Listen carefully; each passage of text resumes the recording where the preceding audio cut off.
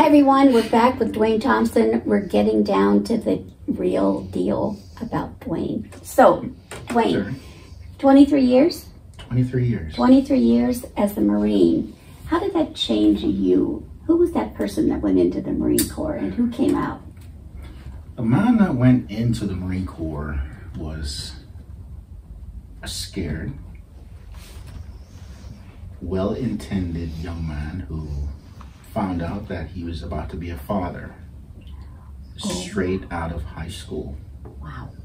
Um, let's just let's just say I wasn't necessarily doing the right things in life. Or maybe not prepared for that? And yes, and that was all on me. That was completely on me. But the thing that I did not want to be to look back in life is to not be there for my daughter. So whatever it took for me to be there for my daughter, I wanted to do it. Wow. The Marine Corps came along. Um, they threw down a challenge and says, any one of you who thinks you can be a Marine, then step up to the plate. Now, knowing me as a kid, hey, I'm up for the challenge. Challenge out there. You're gonna take that with all you with all the gusto you can. Yeah, plus the uniforms, the uniforms. You eh, can't beat the Oh, oh, uniforms. seriously, seriously. so, 23 years later, 23 years later, I've been to war. I've served on humanitarian missions around the world. I've had the opportunity to work with other service members from different branches, even the civilian sector. I've seen half the world. My daughters have seen half the world with me. And along the way, there were challenges, just like with everything else in life but I would not change anything. I am so grateful for my time in the service. so who is Duane Thompson today? Duane Thompson today is a man who wants to continue to help people. I'm not rich by any stretch of the imagination, but when I look at my fellow vets who are struggling, who have mental health challenges, who are homeless, who are transitioning from the service and don't have a job. And I think about that person, me, when I was transitioning. I was faced with all of that. And I needed some help in order to steer me in the right direction. Yeah. I want to do that for veterans as well and their families. And so here you are. You found our Working Wardrobes organization and the VetNet program, and you are clearly leading this team of behavioral health and veterans who are offering these support services. How does that feel for you today? Are, are you, is this the dream? If I were to picture myself at the age of 41, retiring and saying, okay, what's next? Mm-hmm. This would be what's next. I did retire at 41. I relocated to Florida, bought the house, lived the dream, if you will. But after about a year, I realized there was something missing. There was something missing. I hired some veterans to help me out with some home projects.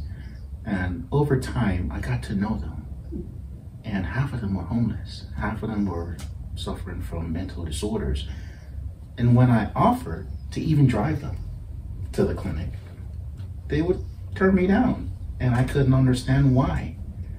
And so that kind of grew on me as time passed, the months passed. And so I had a conversation with my daughter, who was attending USC for her master's degree in social work.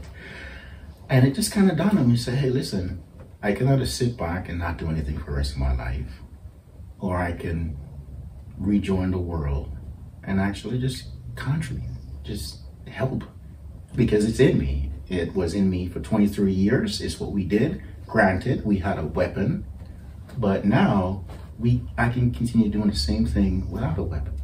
And why not?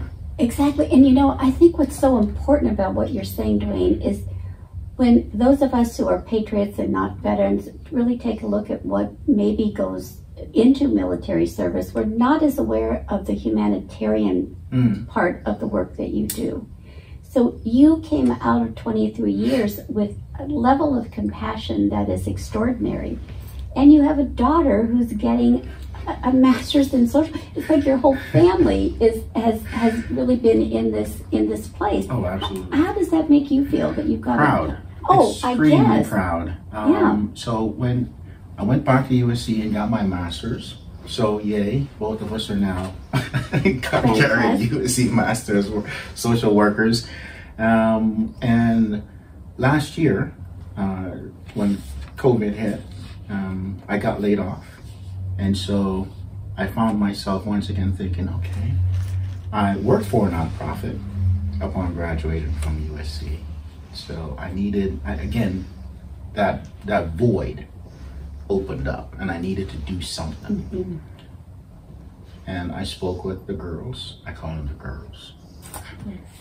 And they said, why don't you just open up a nonprofit? You've always talked about opening your own nonprofit to help military families. I said, you know what? Why not?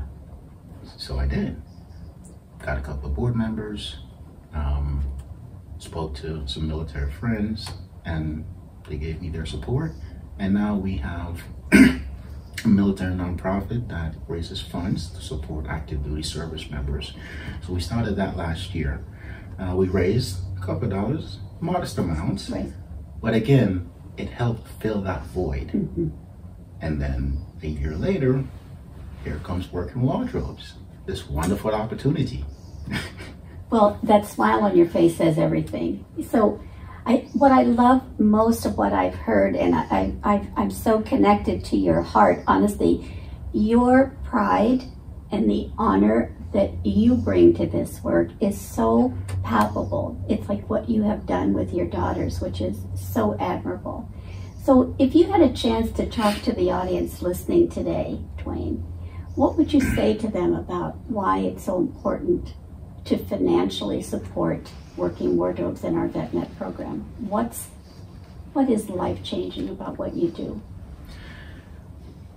Perhaps one of the most important aspects of what we do here is we provide financial assistance. Um, beyond the mental health counseling and beyond connecting them to other resources within the community, we provide financial resources to help them overcome barriers. Barriers that keeps them off the streets. Barriers that empower them with the power of a paycheck. I know you know what I'm talking Yes, about I do. Yes, I do. Yes, I do. uh, barriers that can help them regain a sense of trust within our population, within the civilian population, because a lot of that trust gets lost when a lot of veterans transition from the military.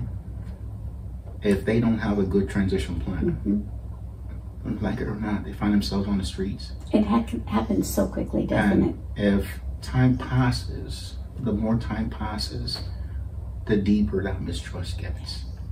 And so those financial resources allow us to reconnect with the veterans. Again, offering them hotel stays to get them off the streets so that we can pursue long-term housing solutions. Offering them a meal, a subway card, so that they don't have to go hungry that night. Offering them Target cards so that they can have proper hygiene. It goes a long, long And way. these are basics. These are basics. Basic this is needs. about the basic dignity of our of the clients that you're serving. So we're going to ask anyone who is listening in find a way to support our program, our VetNet program, and our behavioral health program. Duane, I want to thank you for what you do every single day. I want to thank you for the 23 years that you very honorably served our country. And I want to thank you for being an extraordinary father. Thank you, Jerri. It's- I appreciate that. It is such a pleasure to have you part of our team. And everyone, this is what goes on inside Working Wardrobes. These amazing, amazing staff people that just knock it out of the park every day. Please come back and tune in. We've got many more stories with many more of our roving reporters, just like Duane Thompson. We'll see you again real soon. Thanks, everyone.